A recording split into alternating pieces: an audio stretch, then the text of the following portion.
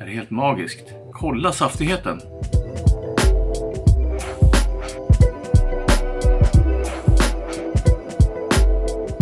Hej och välkommen till min kanal! Eh, jag har några guilty pleasures. Och en av dessa är den här traditionella grillade butikskycklingen. Och nu tänkte jag faktiskt visa hur man med några enkla medel kan göra den här hemma.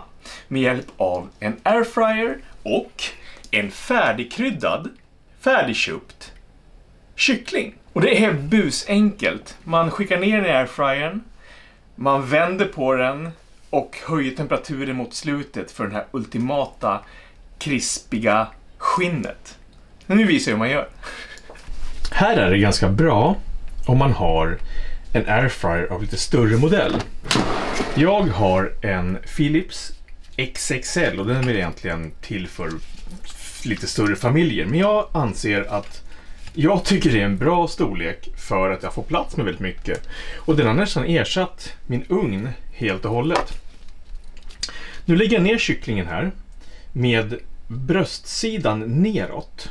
Och det här är för att första tiden så ska kycklingen bara tillagas eh, på ovansidan. För att man får mindre värmepåverkan när det kommer till eh, bröstet som behöver vad ska man säga, mindre värme och lår och översida behöver mer. Så första 10 minuterna är det bara bröstsida neråt. Sen kör vi manuell 160 grader i 10 minuter. Och det är första svängen. Sådär, nu börjar det närma sig andra, vad ska man säga, fasen. Sådär. Den har redan börjat få lite färg och lite yta faktiskt. Så nu tar vi helt sonika och vänder på den. Med sidan uppåt. Sådär. Och kör den i en sväng till. Den här gången kör vi bröstsida upp i 20 minuter.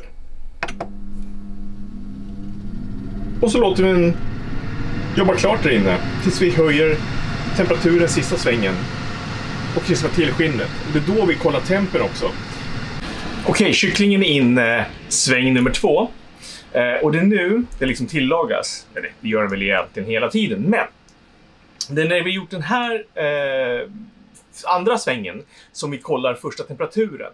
Och för att sen krispa upp skinnet med de sista fem minuterna med, på lite högre temperatur.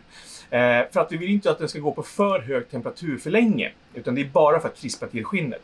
Och jag brukar plocka kycklingen när den är någonstans där 70 67-70 grader. För den kommer klättra lite grann också. Men över 70 brukar man ju säga är bra för en sån här kyckling. Och grejen med att i och med att vi körde kycklingen med bröstsidan neråt först så eh, kommer den behålla liksom saftigheten i bröstfiléerna på ett otroligt trevligt sätt. Så jag ska visa er det sen när vi gör ett eh, litet tvärsnitt eller river av lite skönt kött när den är klar. Sådär. Alltså kolla. Nu har det gått 20 minuter på 160 med bröstsida upp. Och nu så är det viktiga att börja kolla vad det är för innetemperatur på den. Och eh, nu ska vi se. Det är ju nere vid benet nu ska vi se, där ja. Som vi ska ta temperaturen.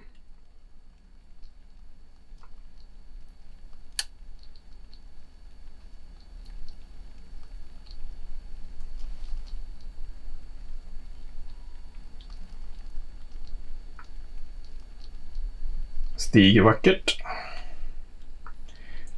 Oj. Ska kolla temperaturen. Sådär ja. Jag brukar plocka den någonstans vid 57 men nu har vi kvar de här fem minuterna som vi ska krispa upp skinnet på.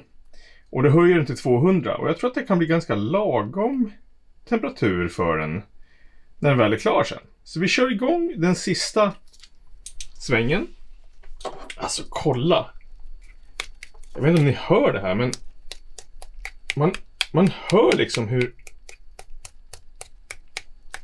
krispigt skinnet är redan. Så att nu är det sista svängen då. Så då kör vi 200 i fem minuter. Sen ska ni få se på grejer. Sådär. Här ligger den. Alltså på riktigt. Kolla på den. Den är helt magisk. Alltså den är så...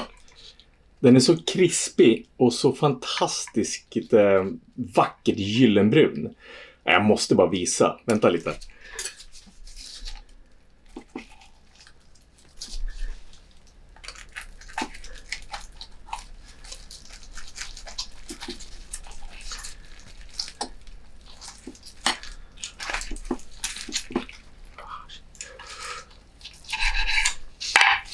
Alltså kolla det här. Alltså det är så saftigt.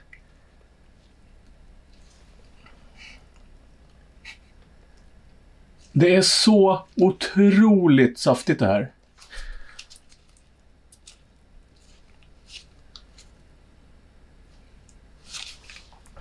Det är så fant... Oj, nu droppar det. Det är så fantastiskt saftigt. Ja, det här är... Är det helt magiskt. Kolla saftigheten. Ja, det här det är... Och det här är bröstbiten som brukar vara lite... Äh, torrare är den väl inte, men... Alltså... Det här är så jäkla gott. Så har ni en airfryer så måste ni testa det här. Och Alltså ni kommer inte ångra er, jag lovar. Nu tänker jag sitta och käka upp den här. Och prenumererar du inte redan på min kanal så tryck på prenumerationsknappen så förhoppningsvis kommer jag kunna leverera otroligt trevliga matklipp som ni kommer gilla. Så att in och prenumerera om ni inte redan gör det. Så ses vi sen. Ha det bra, tja!